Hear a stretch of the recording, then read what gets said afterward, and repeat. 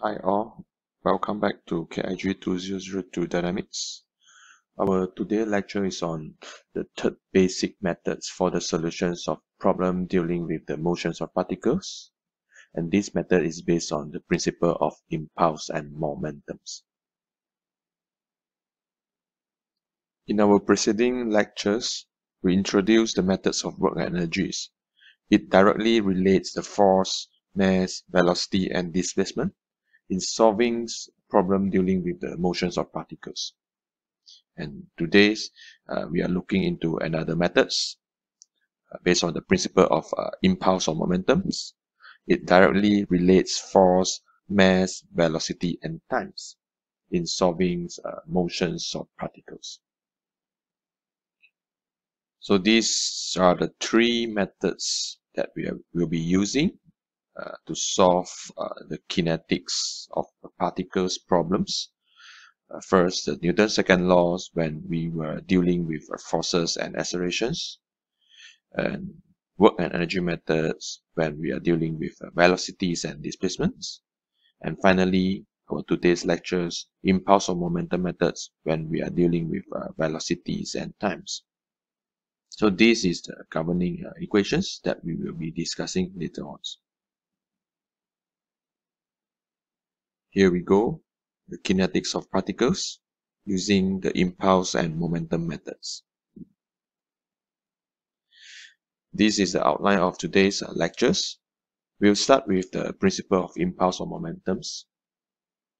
This principle is of particular interest in the solutions of problems involving impulsive motions and problems involving impacts. So we will look into these two topics followed by uh, different types of impacts. Here is referring to direct central impacts and oblique central impact, where the principle of impulse or momentums are applied in solving uh, problems that involving these two types of impacts.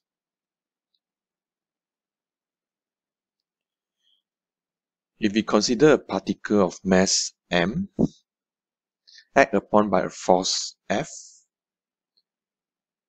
so Newton's second law can be expressed in the form of uh, F uh, ma or F uh, d mv dt, where this mv is the linear momentums of the particles. By multiplying both sides by dt and integrating from a time t1 and t2, so it basically gives us f uh, dt equals to mv2 minus mv1. The integrals uh, f dt from t1 to t2 uh, is a vector known as linear impulse or simply the impulse of the force f during the intervals uh, t1 to t2. So if we transposing the last terms uh, from uh, here we will have uh, mv1 plus uh, impulse uh, 1 to 2 from time 1 to time 2 equals to mv2. Here it can be defined as the final momentums of the particles can be obtained by adding vectorially its initial momentums and the impulse of the force during the time intervals. Initial momentums and the impulse of the force during the time intervals equals to final momentums. The dimensions of the impulse of a force are force multiplied times, and the units for the impulse of a force are Newton seconds or kg meter per second.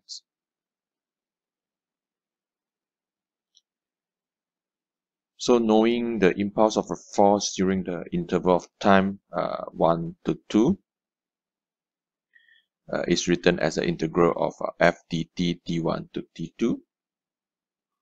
Uh, we can then resolve the force f into rectangular components. So it can be written as uh, impulse uh, 1 to 2 equals to uh, t1 t2 f dt and it can be equals to i resolve in terms of uh, rectangular components, we have this fx dt plus j t1 t2 fy dt plus k t1 uh, t2 fz dt so it can be resolved into uh, rectangular components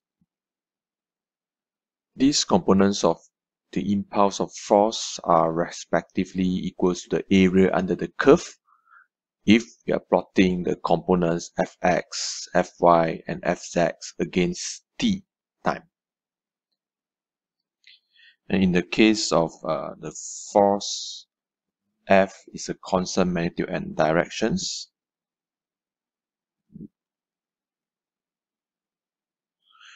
So we can determine the impulse uh, from the interval of uh, t1, uh, t2 which is the area under the, the curve FT by uh, representing it as impulse 1 to 2 equals to F, in this case is constant, T2 minus T1. And it has the same direction as F. So to recap back, when the particles uh, is acted upon by a force F uh, during a given time intervals. The final momentums mv2s of the particles can be obtained by adding uh, vectorially uh, its uh, initial momentums mv1 and the impulse of a force F during uh, these time intervals t1 to t2. We note that the kinetic energies and works we have learned earlier are scalar quantities. Uh, the momentums and impulse here are vectors quantities. So to obtain the analytic solutions uh, from uh, this mv1 plus the impulse 1 to 2 equals to mv2, we can then write it as uh, m v x 1 plus t1 to t2 fx dt equals to mvx 2 or in the y directions we can rewrite it as mvy 1 plus t1 uh, to t2 fy dt equals to mvy 2. Uh, again, in the z directions, m v z 1, the initial momentums, plus the impulse of the force in the directions of uh, z dt equals to the final uh, uh, momentums in the direction of z m v z 2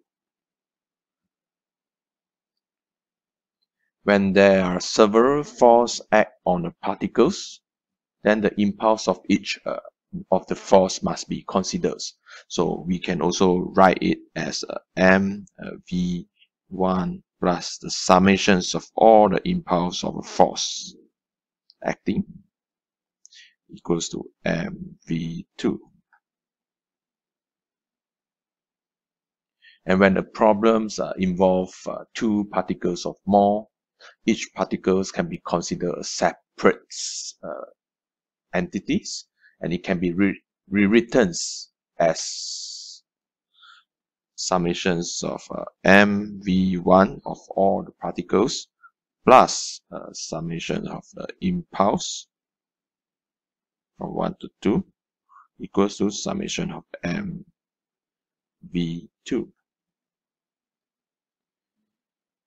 And in the conditions of uh, when no external force uh, exerted on the particles, and more generally if the sum of the external force is zero, then the second terms in the, the equations will become zero. So when we have uh, no external forces or uh, the sum of the external forces equals to zero then uh, the summations of impulse 1 to 2 will be equals to 0 then it will basically give us a summation of mv1 equals to summation of mv2 and in this case uh, we are saying that the total momentum of the particles is conserved.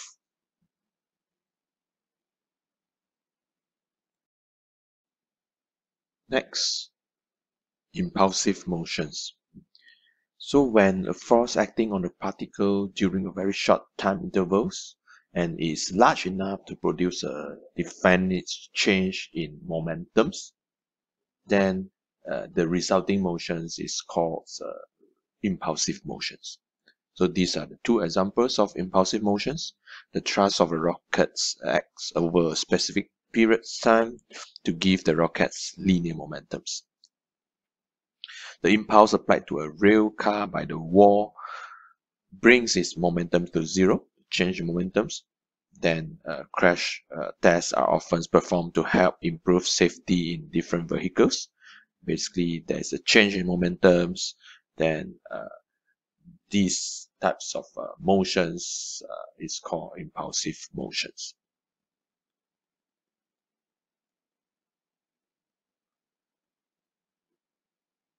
So here we are saying that when the force acting on the particles during a very short time interval, and this force is large enough to cause a significant change in momentums, and it is called an impulsive force.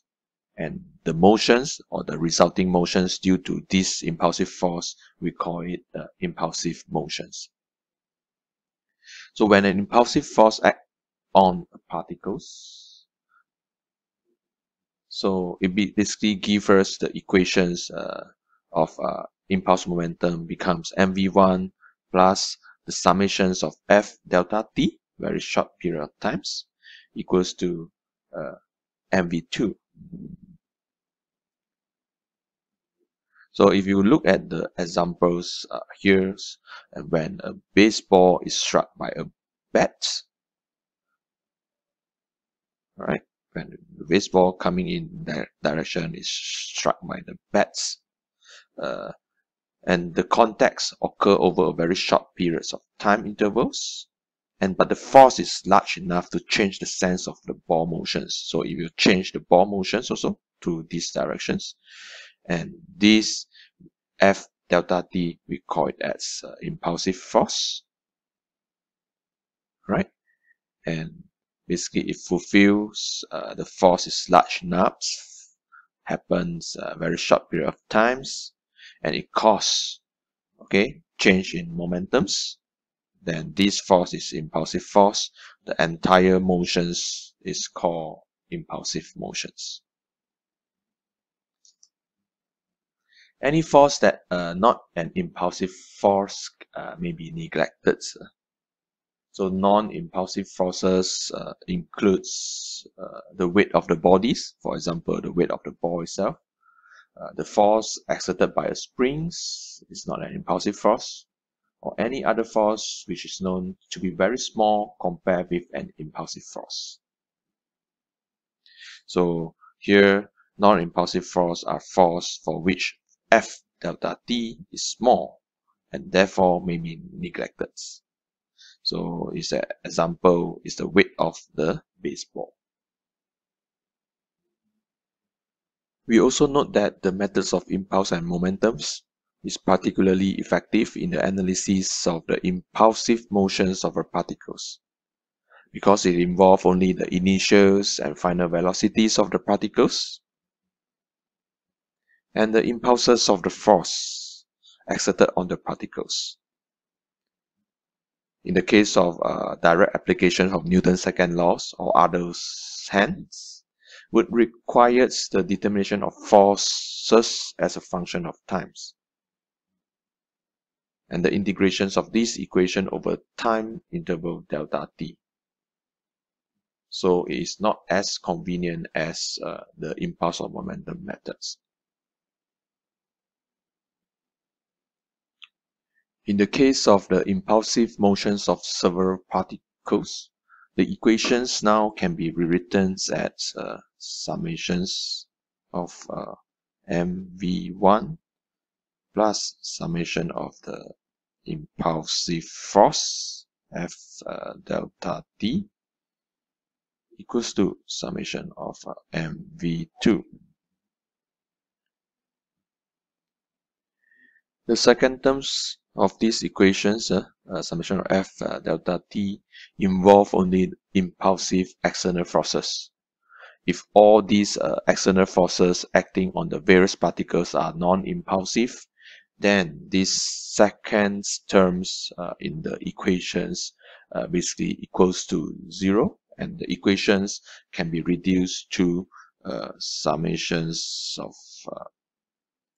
uh, mv1 equals to summations of mv2 in the case of uh, summation of f uh, delta t uh, equals to 0 where uh, they are all not impulsive force.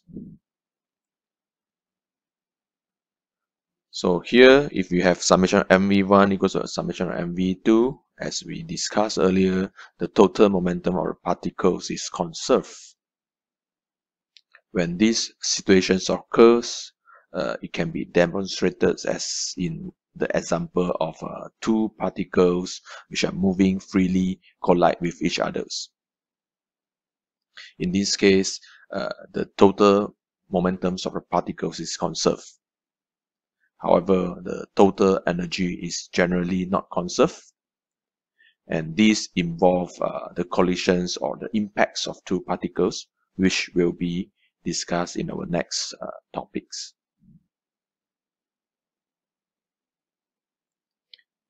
So again, when we are saying that the total momentum of the particles is conserved, then we are saying that uh, the summations of f delta t equal to zero. So uh, this happens either that the resultant of the external forces is zero or the time interval delta t is very very short or the external force are non-impulsive. Our next topics impacts. When there are two bodies uh, collide with each others and these collisions between the bodies occur in a very small intervals of times in which the two bodies exert a relatively uh, large force uh, on each others and this is called impact. The common normals uh, to the surface in context during the impacts is called line of impacts. And if the mass centers on the two colliding bodies are located on this line, what I mean here is a line of impacts, then the impact is a central impact. Otherwise, uh, it is called eccentric impacts when uh, the colliding bodies are not located on the line of impacts.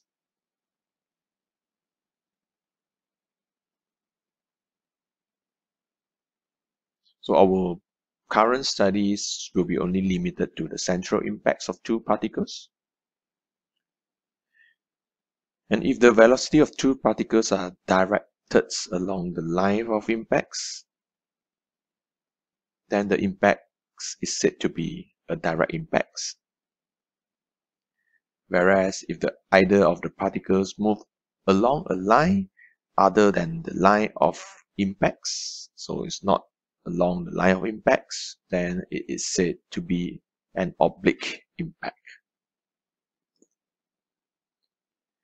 Considering two particles A and B of mass MA and MB, uh, they are moving in the same uh, straight lines and to the right uh, with the velocities of VA and VB.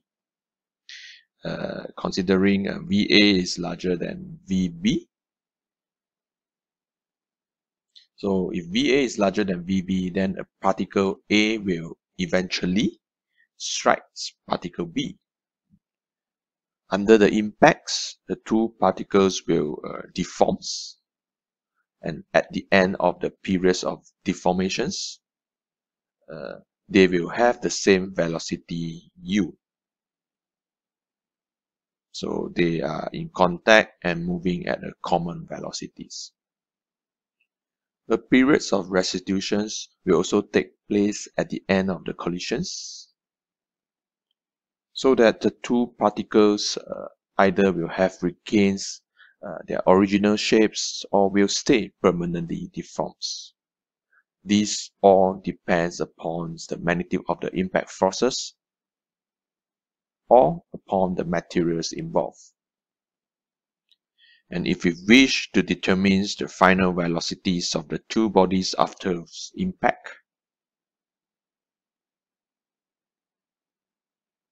we should consider first the total momentums of the two body system is preserved. MA VA plus MB VB equals to MA VA primes, sorry, MA V uh, A primes, which is the final velocity of a particle A's, plus MB VB primes.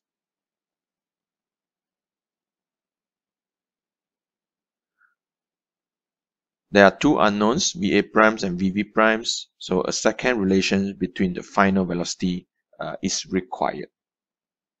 If we consider the motions of a particles A during the periods of uh, deformations, and we apply the principle of impulse or momentums,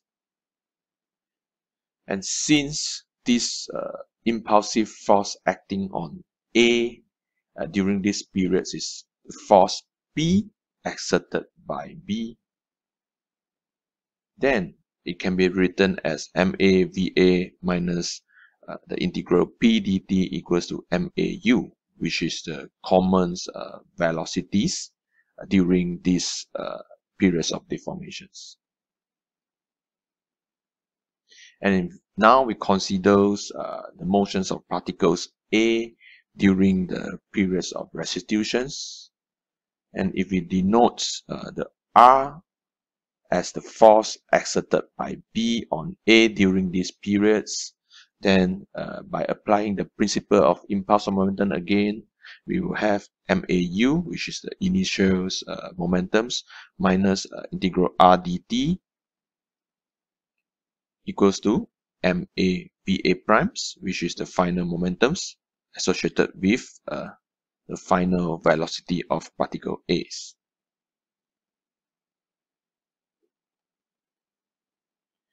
The force R exerted on A during these periods of restitutions differ from the force P exerted during the periods of uh, deformations.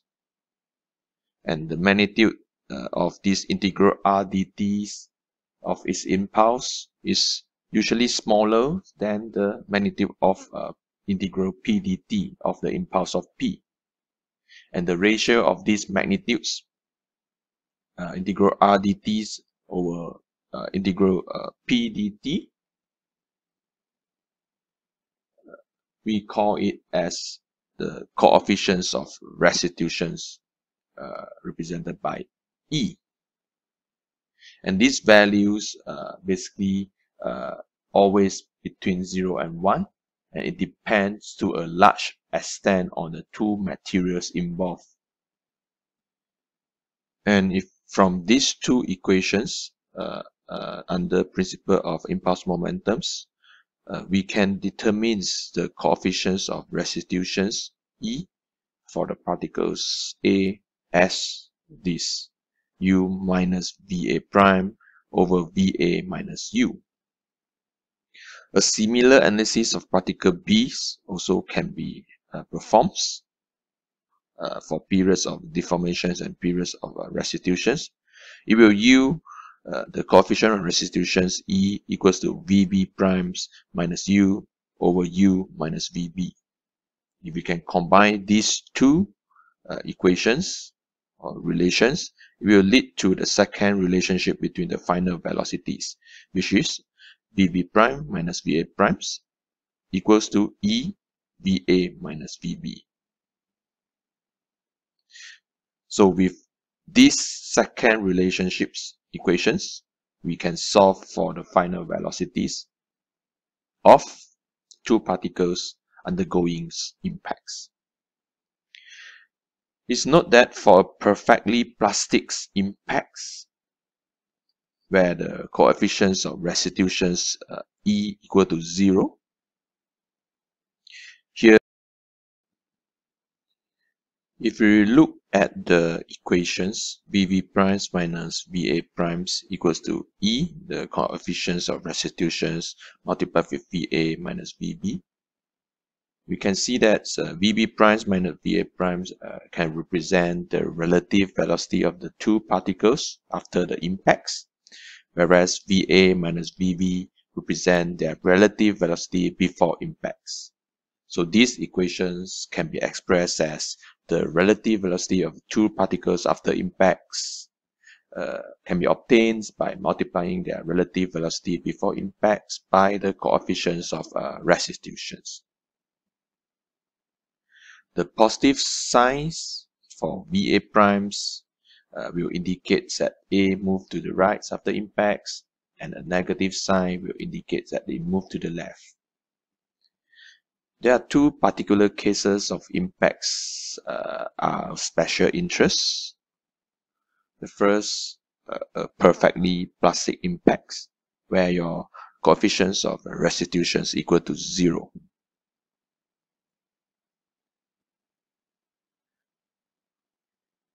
So in this case, uh, it will yield our VB prime equals to VA prime equals to V primes, meaning the two bodies uh, will be going together after the impacts.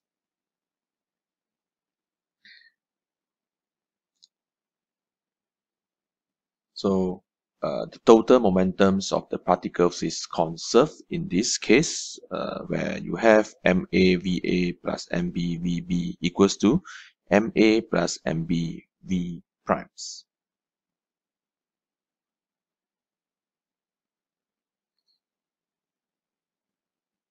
So it can be uh, solved uh, for the common velocity v primes of the two particles using uh, these particular equations. Uh, since uh, the vb primes and va primes uh, equals to the same velocity v primes under the perfectly plastic impact equations where your coefficients of restitutions equals to zero meaning there is no periods of uh, restitutions and both particles stay together after impacts. Another case of impacts of interest will be the perfectly elastic impact where your E or the coefficient of restitutions equals to 1. This will express your the relative velocities before and after impacts are equals giving us VB prime minus VA primes equals to VA minus VB from these equations.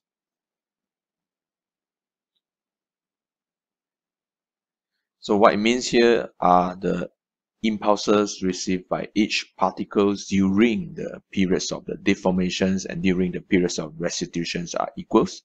That is why uh, this will be equals to this, and it will be giving us uh, the E equals to 1. And in this case, uh, the particles will move away from each other after impact with the same uh, velocity with which they approach each other's before the impacts. So in this case, uh, uh, we are saying that a perfectly elastic impacts, the total energy of the two particles as well as the total momentum of these two particles uh, is conserved.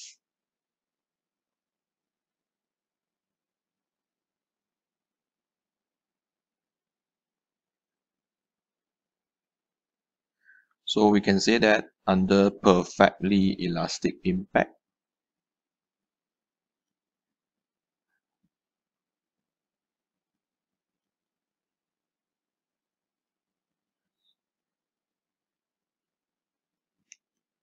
our uh, coefficient of restitutions uh, E equals to 1, then we have our equations from the second relations on the relative uh, uh, velocities uh, between the two particles is VB prime minus VA primes equals to VA minus VB or we can rewrite as uh, VA plus VA primes equals to VB plus VB primes. Under impacts, we also mentioned that uh, the total momentum is conserved, whether it's a perfect, perfectly elastic impact or perfectly plastic impacts. Then we have here uh, under perfectly uh, elastic impacts, uh, the total momentums is conserved So we are having uh, uh, summations of mv1 equal to summation of mv2. So in this case, uh, we will have mava plus mvvb equals to ma va primes plus mvvb primes uh, rearrange it, we will have MA uh, VA minus VA primes equals to MB VB primes minus VB. Alright, so treating this as my first equation and second equations, if you can uh, multiply uh, uh, equations of uh, 1 and 2 member by members then we will have okay uh, m a uh, v a minus v a primes multiply with this uh, v a plus v a primes equals to m b uh, v b uh, VB primes, right, minus VB multiply with uh, VB prime plus VB. Right. So in this case, uh, we can have MA VA square minus MA VA prime square equals to MB v b prime square uh, minus mv v b square. So if we are taking the uh, energy uh, principles, we have 1 over 2 m a v a square plus 1 over 2 m b v b square equals to 1 over 2 m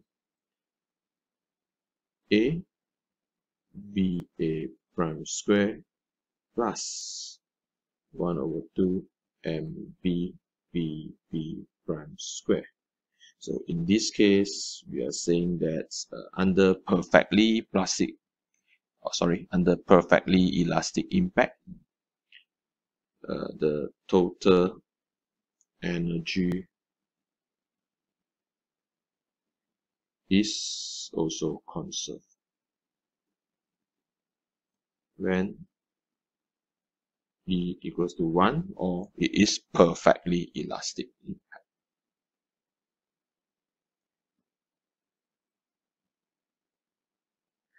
These are the some examples of uh, impacts and how uh, uh, the coefficients of restitutions uh, is used.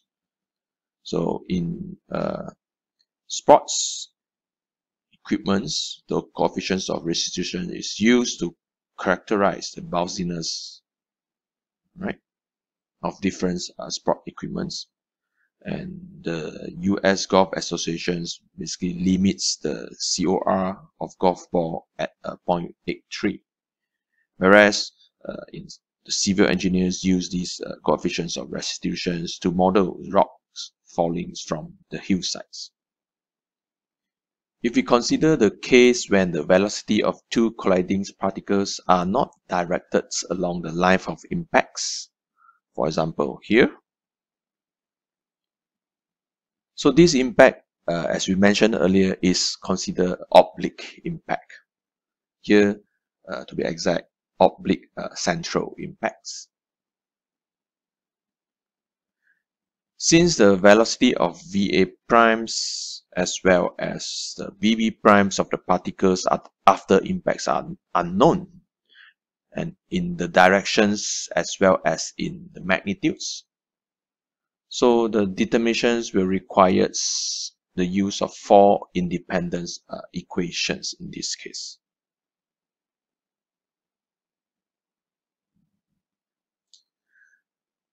So how we can analyze this? So first, uh, we understand that uh, the components uh, along the t-axis, the tangential components uh, of the momentum of each particles uh, considered uh, separately and is conserved. So here we have our VAT equals to VAT primes as well as VBT equals to VBT primes, right, under uh, the tangential components along the t-axis, uh, the momentum uh, of each particle is conserved. Next, the components along the n-axis, the normal components of the total uh, momentums of these two particles is conserved along the n-axis, which is the uh, normal components, uh, is conserved uh, for the total momentums in this case. Then we have uh, MAVA in the n directions or n-axis plus MBVB n equals to MAVA primes in the normal axis n-axis plus MBVB prime in the normal axis.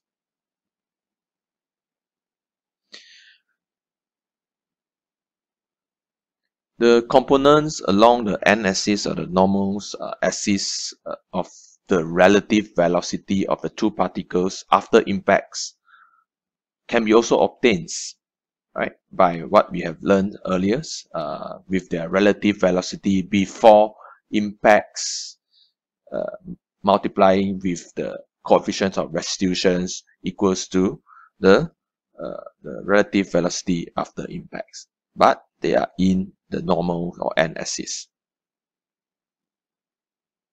So with these four uh, equations, one, two, three, and 4, uh, we can use it to solve the four unknowns. Here is referring to the velocities of uh, the particles after the impacts or what we call the final velocities in terms of their magnitudes and directions.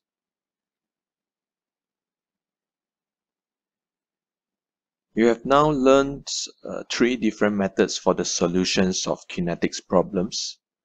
First, uh, the direct applications of Newton's second laws, summation of F equal to ma, the methods of uh, work and energies, and today's uh, the methods of uh, impulse and momentums.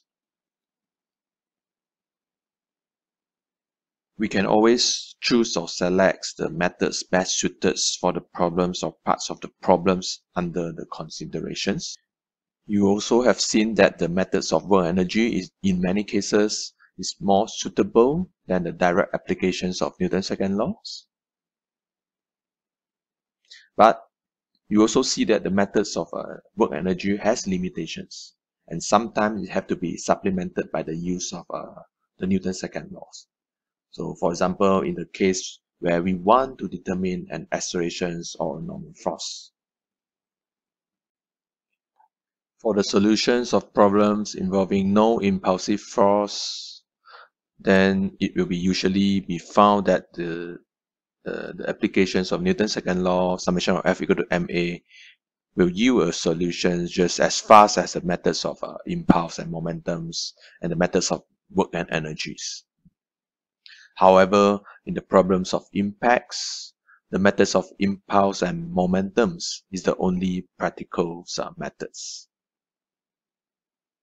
A solution based on the direct application of uh, Newton's second law, summation of F equal to ma, may not be so practical uh, in the case of uh, uh, the problem involving uh, impacts. The methods of work and energy uh, also cannot be used because it involves a loss of mechanical energies during impacts unless the impacts is a perfectly elastic impact where the total energy is conserved. There are also problems that involve the combinations of uh, use of the, these three methods. If you consider uh, the pendulums problem that we have discussed earlier, uh, uh, you have a pendulums A of mass ma with the length L, uh, which is released with no velocity from uh, positions A1s. The pendulum swings freely in the vertical planes and hits a second uh, so-called pendulum B of mass mb with also the length L, which is initially at rest. And after the impact, with coefficients of uh, restitutions uh, E, the pendulums B will swing through an angle theta that we wish to determine. So in this case, uh, we can uh, divide the solutions of problem into three parts. The first pendulum A a swing from A1 to A2 here. Uh, the principle of uh, conservations of energy can be used to determine the velocity A uh, of A uh, when it reaches A2. So when the pendulums A hits the pendulums B, at that particular moments uh, using the fact that uh, the total momentums of the two uh, pendulum is uh, conserved uh, because of the, the impacts and also the relations between their relative uh, velocities can be used to determine the velocities at A3 for both particles A and B, which is the VA3 and VB3s. And finally, uh, when pendulum B swing from B3 uh, to B4 from B3 to B4 uh, we can apply back the principle of uh, conservations of energies to pendulums uh, we can determine the maximum elevations uh, y4 at here and the angle theta can then be determined of course, uh, if the problems involve the determinations of uh, normal force, the tension of the ropes, we can also combine using the Newton's second law where the summation of F equal to ma uh, is applied.